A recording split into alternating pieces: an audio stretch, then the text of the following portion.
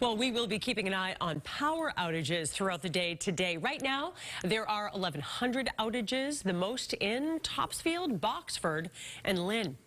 And despite the dangerously cold conditions, people still have to get to work and they need to take their pets outside. So what can you do to stay safe? WBZ's Anna Meiler has some answers.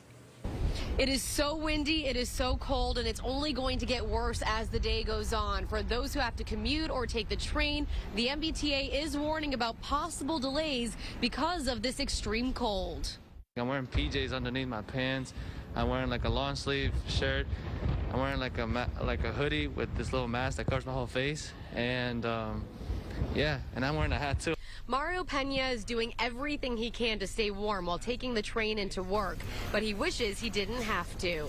You know, I wish I could find a virtual job. That would be amazing.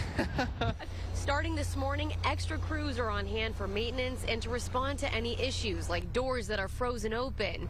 With extreme drops in temperature, they're also worried about the rails cracking. The interim director says they prepare months in advance for weather like this. I feel that we're as prepared as we can be. Again, these temperature swings are certainly difficult, but we are also prepared so that if there is an incident, that we're quick to respond to address the incident and get service resumed and moving as quickly as possible.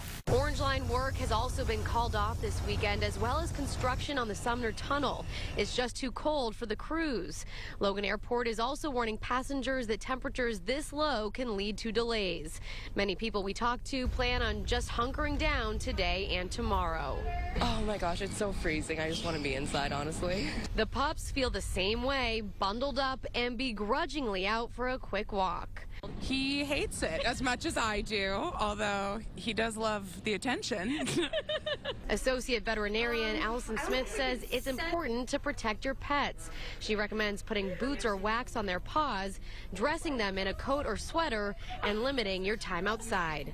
They are vulnerable to frostbite, um, especially in their ear flaps, which they have that thin cartilage. Um, no long walks. I'd keep it five minutes to 10 tops, um, and then come right back in after using using the bathroom. Okay.